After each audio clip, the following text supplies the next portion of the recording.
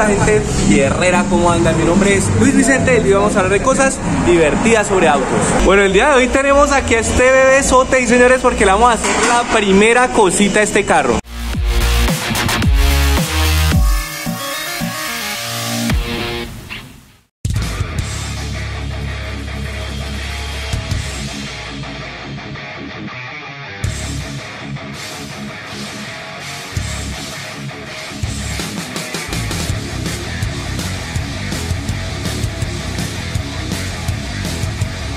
Bueno, resulta que este carrito me di cuenta que pues tiene malos los frenos. Bueno, no es que los tenga malos, frena, pero no frena lo suficiente. Ya me he llevado unos picos con este carro. Entonces pues la verdad me gustaría pues mejorar los frenos. Vamos a ver qué tiene, ya les voy explicando. Bueno, resulta que la vez pasada pues lo fue en la carretera y bueno, íbamos detrás de unas camionetas como 80 kilómetros por hora y las fui a pasar, tercerazo, este carro la verdad en, en nada llega a 120, 130, o sea, pasé dos camionetas, llegó a 130 de una. Cuando fui a frenar me di cuenta que el timón estaba haciéndole... ¿Eso, que eso es síntoma de que, de que los discos de freno no están redondos, están ovalados. O sea que alguno de los anteriores dueños de este carro, tal vez puede sido el esposo de la primera chica dueña del carro, eh, no, pues sí lo tuvo, tuvo que haber candeleado. Es que quién no candelea con este bebé, ¿ah? Entonces, pues bueno, seguramente lo candelearon mucho, lo andaron mucho y tienen los, los discos de freno ovalados. Entonces, pues el día de hoy vamos a revisarle qué tan ovalado están. Las pastillas también deben de estar un poco acabadas, yo creo. Entonces, bueno, vamos a mejorarle eso. La verdad, eh, discos ventilados y perforados todavía no quiero porque la idea es agarrarle el tiro, así como hice con el tigre. Le quiero agarrar el tiro al carro así como está original. Y eh, después de eso, sí eh, empezarle a meter cosas. Pero también considero que hay que cambiarle las pastillas porque resulta que tampoco es que frene muy eficiente. De hecho, el tigre frena más y eso es mucho decir, aunque bueno, el tigre ya se le, se le hizo un swap de frenos y todo, pero igual me parece que no frena bien, el tigre frena más, se parece al tigre cuando frenaba antes, cuando solo tenía los discos sólidos y las pastillas tan chiquitas de B13, parece que frena así, la vez pasada iba yo por la 13 y le pedí el favor a un, a un mancito que limpia los vidrios, que me limpia el vidrio, porque pues tenía polvo. Entonces le pedí el favor y pues se cambió el semáforo y el de atrás empezó a afanar hasta que terminó pues el, el mancito de limpiar. Eh, y el man era un Spark, póngale. Entonces llegué y pues aceleré y lo dejé regado al mar porque el man estaba que pitaba y eso, eso que lo quieren pasar a uno para mirar lo feo, pues obviamente llegué a aceleré y quedó un punto por ahí atrás.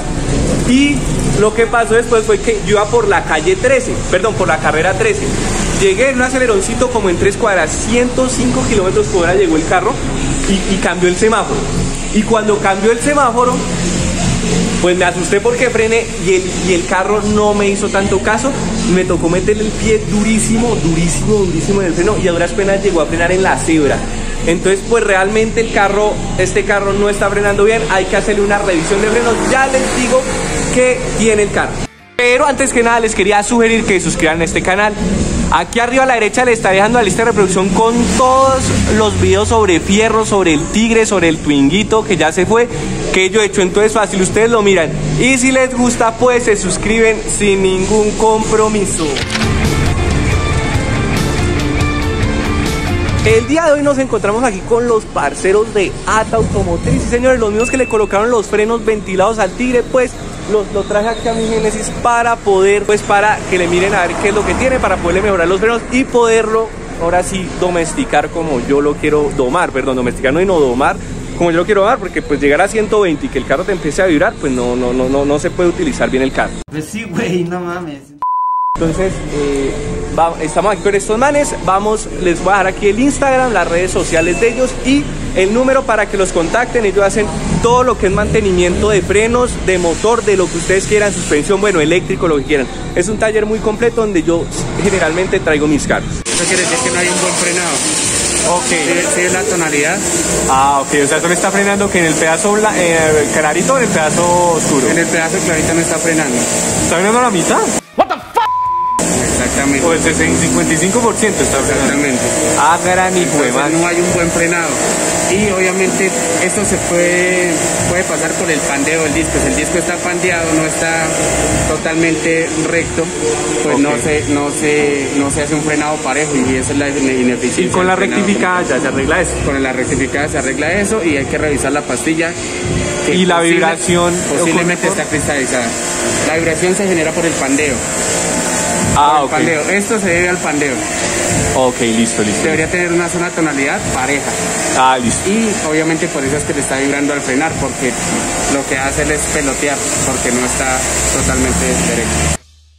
Lo primero que hacen los muchachos de AT Automotriz es subir el carro al, a la máquina hidráulica para poderle quitar las ruedas. Eh, proceden con la pistola de quitar los, las tuercas, pues las quitan y luego pues retiran la rueda. Luego de eso nos damos cuenta que el carro tiene eh, doble sistema de frenado atrás.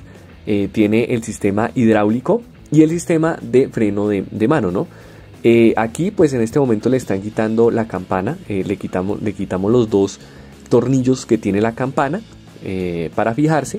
Este sistema de campana es para el freno de mano y ya el sistema de disco con el caliper y la mordaza es ya el sistema hidráulico que ya es el frenado de pedal. Esto obviamente en los frenos de atrás.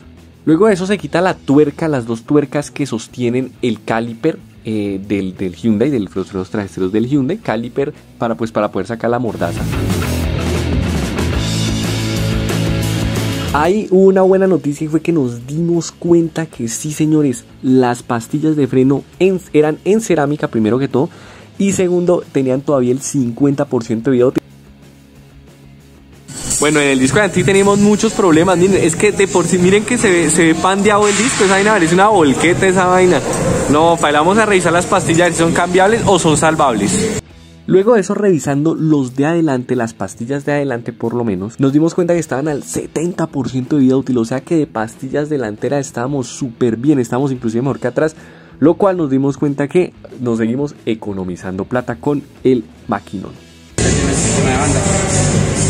Ah, ok. y solo trabaja el, el freno de mano. O sea, solamente- esto funciona como un carro de los, de los chiquitos, de los normalitos, Ajá.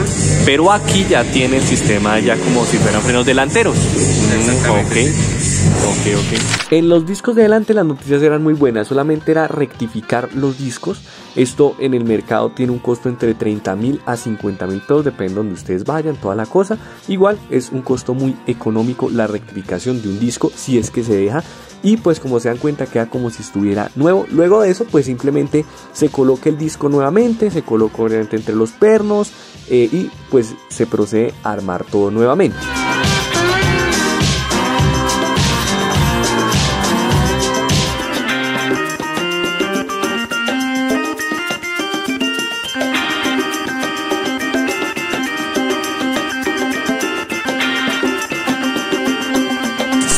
Se procede a limpiar la, la pastilla pues para que agarre mejor contra el disco.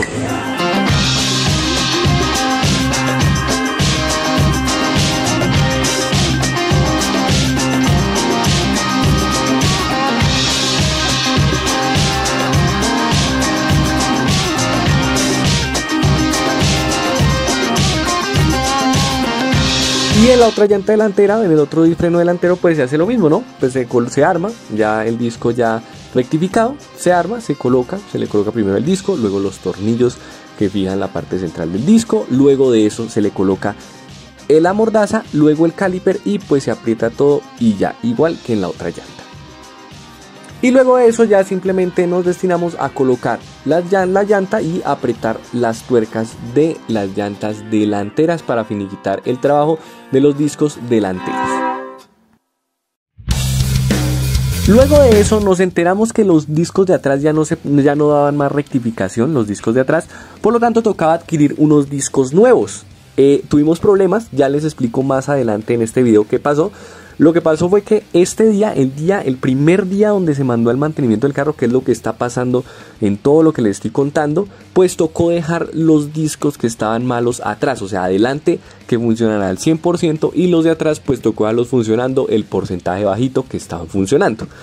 Luego de eso, pues ya, pues ya trabajando con lo que había, mientras tanto, pues nos destinamos a cambiar el líquido de frenos con los muchachos de ATA Automotriz. Entonces con la máquina extractora de líquidos empezamos a sacarle el líquido de frenos que ya tenía bastante humedad, ya estaba ya no estaba en óptimas condiciones y le colocamos, decimos colocarle un líquido de frenos de alto rendimiento DOT5, marca Cofre. Bueno, fierros y tierra, les cuento que nos hemos teletransportado en el tiempo unos casi aproximadamente dos meses, señoras y señores nos hemos teletransportado en el tiempo y les voy a decir porque resulta que los frenos de atrás pues no, eh, o sea, no se podían rectificar como los de adelante.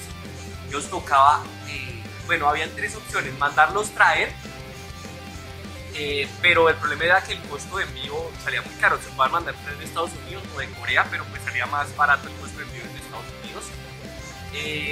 pero pues lo que les digo, el costo de envío era muy caro. O sea, los frenos como tal no eran tan caros, valían más o menos unos 800 mil pesos, pero el costo de envío valía otros 800 mil pesos, entonces salía como por 1.600.000, 1.700.000 todo. La cosa fue que, o sea, no todo, no, solo los frenos de atrás, no, perdón, no todos, sino solo los frenos de atrás. Y bueno, había otra opción que era ir a la Hyundai directamente, seguramente tenían el repuesto del concesionario pero valía esto, este repuesto valía 1.500.000 los frenos de atrás, o sea quedaba casi la misma. Traerlos o comprarlos en Hyundai, estaba casi la misma, yo hubiera preferido traerlos en Hyundai porque no tenía inmediatez, en cambio de la otra manera tengo que esperar entre un mes y dos meses para que llegaran. Y la mejor opción que vi fue que bueno, pues encontré, apoyé la industria nacional, ¿sí? Y pues los mandé a hacer, mandé a hacer los, que los frenos, los mandé a hacer, ya se los muestro, salió mucho más económico, salió tan solo por 450 mil pesos. Eh, mandados a hacer a medida perfecto, obviamente apoyando yo como siempre la industria colombiana. No tuve inmediatez, pasaron casi los dos meses como si lo hubiera mandado a importar, pero me salió mucho más económico. Bueno, como se pueden dar cuenta, aquí están los frenos, son iguales a los que tiene, pero pues obviamente estos están bien, estos no están roídos ni comidos ni nada de eso, y obviamente el frenado se va a volver totalmente eficiente.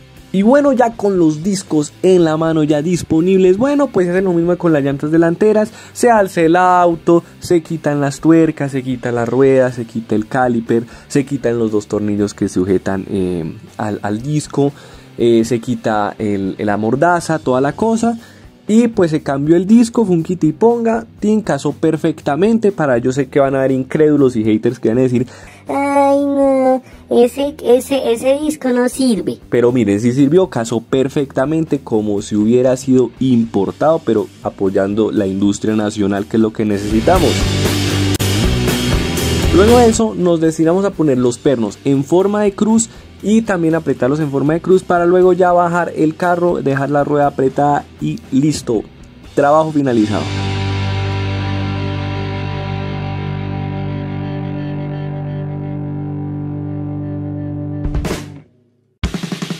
Y bueno gente fierrera, eso ha sido todo por el video de hoy. Eh, bueno, ¿qué falta? Falta sentar los frenos, sí señores, porque bueno, digamos, aquí ya, ya están, sí, pero falta sentarlos. Eh, obviamente que la, que la pastilla se amolde al disco, en ese momento no se puede forzar el carro ni nada. Sí, entonces me tocó irme a 2000 revoluciones, suavecito, máximo 80 kilómetros por hora y obviamente con frenadas prolongadas, suavecito, o sea, uniendo suave el freno y pues aumentando la distancia de frenado eh, para no forzar mucho los frenos de atrás. Eh, obviamente cuando eh, se hizo el proceso de adelante, que fue hace mes y pico, también me tocó empezar a frenar suave. Eso más o menos son unos 20-25 kilómetros que ustedes deben de frenar suavecito. Mientras las pastillas sientan. Ya después, ahí es cuando, más o menos cuando ustedes ya han pasado los 15, 16 kilómetros, ya se empieza a sentir como el, como el carro empieza a frenar mejor. La verdad, el carro estaba frenando muy mal. Cuando me rectificaron los frenos de adelante empezó a frenar mucho mejor. Y ahora que los frenos de atrás se le, se le, bueno, ya se le compraron nuevos, los, perdón, los frenos no, sino las, los discos de freno de atrás se le compraron, están nuevos pues eh, el, tema es que eh, obviamente se siente que frena un poquito menos mientras la pastilla sienta. ¿Por qué? Porque es muy liso al principio. Eh, pero ya al final de la ruta, que más o menos el taller queda a unos 10 kilómetros de mi casa, ya se empieza a sentir cómo empieza a mejorar la frenada. Ahora sí, en teoría, debería de quedar frenando mucho mejor. Recordemos que este carro ya venía con frenos de, mm, con pastillas de frenos de cerámica, ¿sí? Viene pastilla de freno de cerámica y Eh, pero eso ya los traía, eso no tuvo que cambiárselo porque la, la vida útil de las pastillas todavía está buena, estaba al 60, 70% y solamente le cambiaron los discos, adelante se rectificaron, atrás sí se le cambiaron, ¿listo? Bueno, hablemos ahora del tema doloroso, el precio. La verdad no salió tan caro, salió como si se le hubiera hecho al tigre. ¿Pero por qué? Porque me supe conseguir el repuesto bien, ¿listo? Eh, porque si no, bueno, ¿cuánto costó todo primero que todo? 600 mil pesos. Este trabajo cuesta 600 mil pesos. ¿Qué se hizo? Cambiamos freno líquido de frenos por una marca muy buena. Se le reemplazó porque ya tenía humedad el líquido de frenos se le rectificaron los frenos de adelante, las, los discos de freno de adelante se le rectificaron y atrás se le cambiaron los, los discos de freno, ya cambiados, se mandaron a hacer para que no sea tan caro. Entonces todo en total 600 mil pesos. La verdad eh, no me pareció caro, me pareció el mantenimiento de un carro de, gama baja. Eh, pero si no lo hubiéramos sabido hacer, nos hubiera tocado comprar los nuevos, lisos, que hubiera costado más o menos, yo creo que te hubiera costado por ahí unos un millón setecientos mil pesos más o menos hubiera salido todo haciendo la cosa con Hyundai. Pero no crean que esos dos meses que yo esperé, bueno, casi dos meses que yo esperé los discos de atrás, que los terminaran de hacer, no crean que fue un tiempo perdido. Investigué mucho sobre el carro, ya hablé con el mecánico de cabecera que siempre ha tenido este carro, porque yo antes decía como, venga, pero si yo tengo mis propios mecánicos, pero ya entendí por qué necesitábamos el mecánico que atiende este tipo de carros, porque realmente es un carro que, bueno, que los repuestos, el tema de repuestos y toda la cosa, pues no es lo más fácil del mundo. Solamente hay 100 em, carros de Genesis becados en Colombia. ¿Listo?